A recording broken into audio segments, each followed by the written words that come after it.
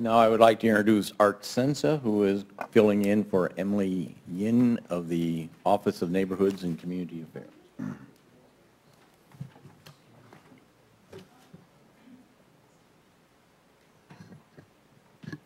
Good evening, Mayor, Council President Smith, uh, Mark Smith, that is, um, honorable council members, and all of you watching at home, and all of you that are here tonight. I am pleased to present the Office of Neighborhoods and Community Affairs preliminary proposed budget for 2011-2012. Um, I appear to be the only male presenter without a tie. Yes. Hope that doesn't distract from the presentation. Um, Like every department uh, that you've heard tonight, uh, we've had to make some very tough choices in this department as well um, to meet the reduced revenues. Um, I will detail those reductions a little a little bit later. Uh, By way of introduction, let me just say that the the office compared to the city's overall budget, um, the Office of Neighborhoods and Community Affairs has the smallest budget of the 12 operating departments.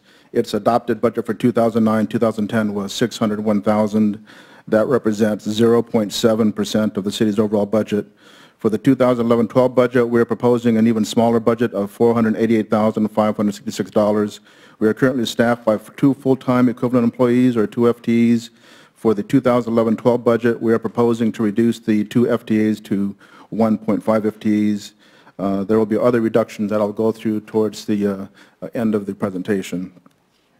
I'm going to go over a brief history of the uh, department, uh, talk about its mission and purpose, uh, go over its goals and accomplishments, and talk about the staff level and changes to the staff level, and then talk about our budget.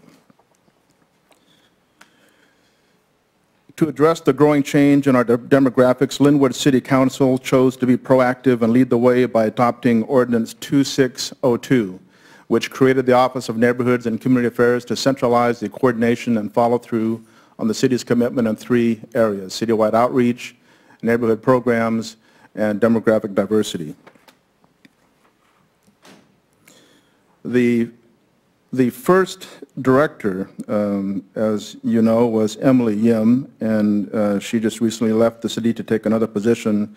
Uh, She did a phenomenal job to get the department off the ground. The toughest part of any new or- new organization is to get it off the ground and then uh, get it to be sustainable. Uh, So whoever is her replacement will have big shoes to fill.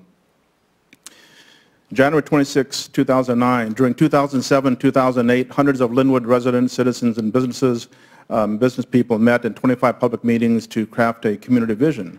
On January 26, 2009, the City Council adopted a community vision statement that said, "The City of Lynnwood will be a regional model for a sustainable, vibrant community with engaged citizens and an accountable government."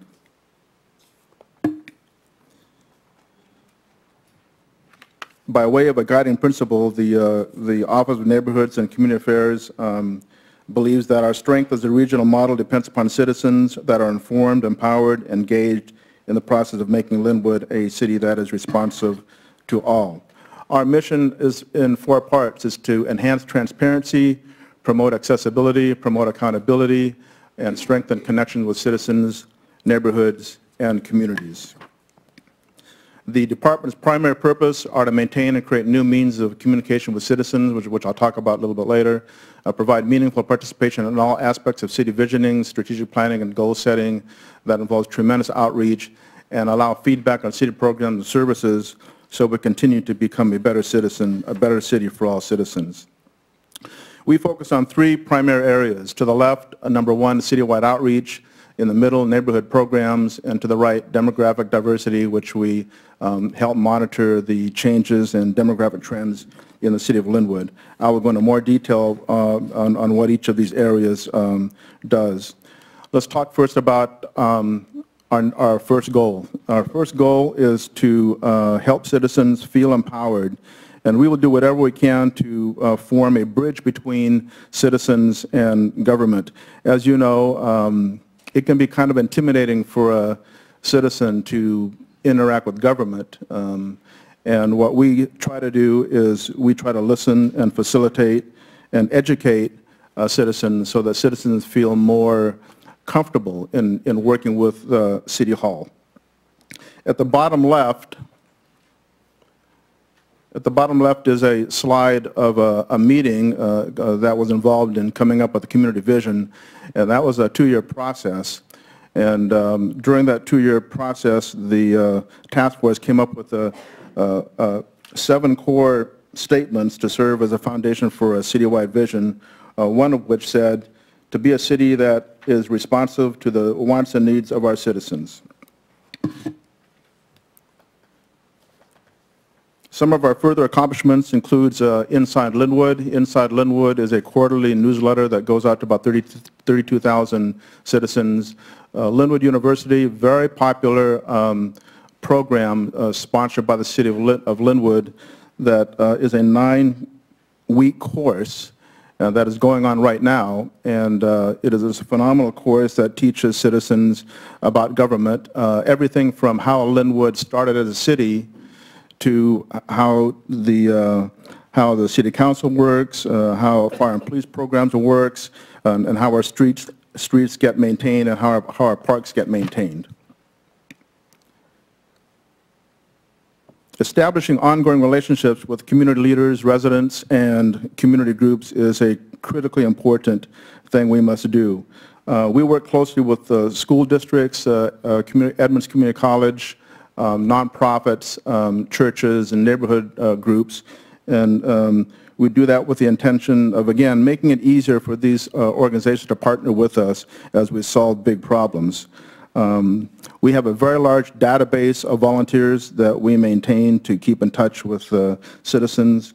And um, one of the areas that we've worked hard in, uh, the last one there, boards and commissions, is to educate citizens about how to get on a boards and commissions. Currently, we have we have 10 boards and commissions um, that we uh, that we help the city staff.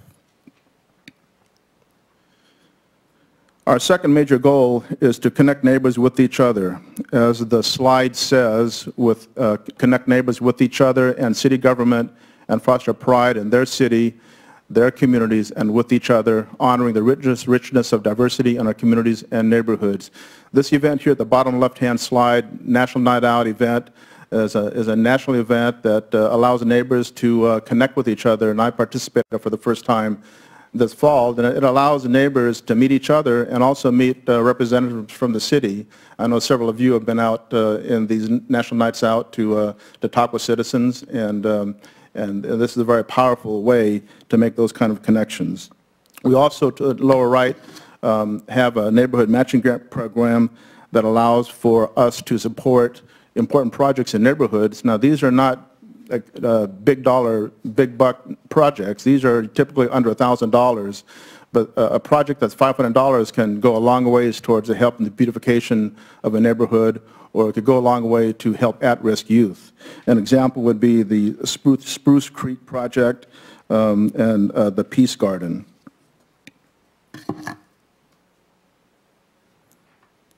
One of the most impactful things that we do is get involved in city-wide community forums. And uh, here we go, citywide forums. And it says here that uh, we have held uh, five forums on visioning, uh, gang education, uh, victims' rights, uh, police and community, code enforcement, and health inequities. Over the last couple of years, we have um, been involved in the celebration of Martin Luther King and have attracted over 1,000 participants, as well as a, a youth summit that uh, attracted 25 local students. Our third goal is to listen and encourage feedback. We've listened to people, oh, I just went way too fast there.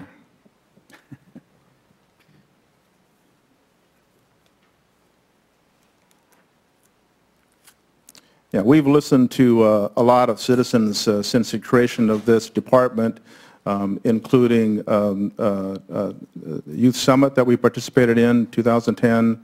Our Lynnwood University, of course, provides a great opportunity for citizens to talk to us directly, as well as we we conducted a, uh, a, a citywide survey a citywide survey that we sent out 3,000 surveys, uh, got a 25% response rate, and these surveys uh, really helps us in, in trying to determine in what areas we can improve in.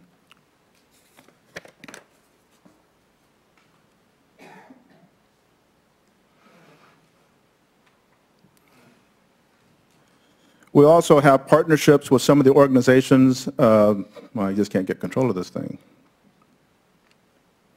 We also are involved in partnerships and have done quite a bit of work with the Immigration Task Force as well as the Neighborhoods and Demographic Diversity Advisory Commission.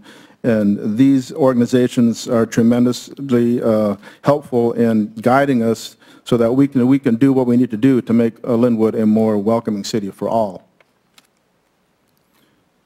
So who does all this work, which takes a lot of coordination and facilitation? Who does all this, all this work? Well, basically, the department is made up of two people, one director and one full-time administrative assistant. Um, But these two individuals do a lot. I think the city gets a big bang for its buck for the two people that do all this work.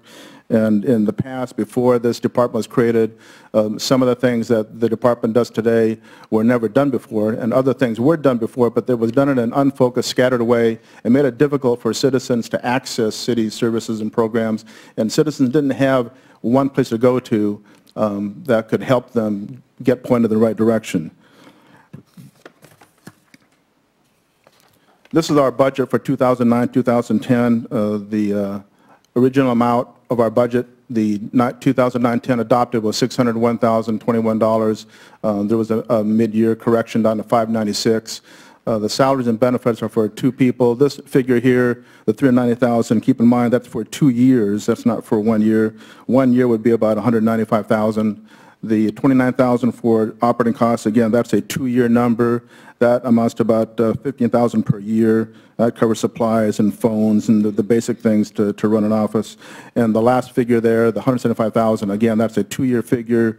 That's about 87,000 per year, and that takes care of the mailing, printing, production, advertising, sponsoring forums, and other things to to help us assist the community.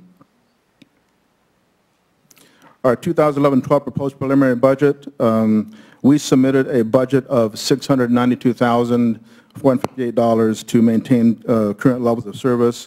Um, In 2011-12, uh, we've uh, made reductions that would basically cut down the staff from from one full-time admin assistant to a half-time. You heard earlier in uh, Economic Development's budget presentation that, that they have been exploring with another department to possibly share that admin person, and that other department is the Neighborhoods and Community Affairs Department. Um, Again, in normal times, we, this would not be something we might put on the table, but in tough times like this, we're doing whatever we can to help other departments um, do what they need to do. In summary, this is our budget. We submitted a, a budget of 692,458. We've reduced that by 203,000 to get us to a, a proposed preliminary budget of 488,566. That was achieved through the reduction of one full-time admin support down to half-time, as well as we've cut operating costs by 44,000. And in our program cuts, we've cut inside Lynnwood, we've eliminated the citywide survey, and reduce the various programs that you see up there um, to get us down to a reduction of $203,892.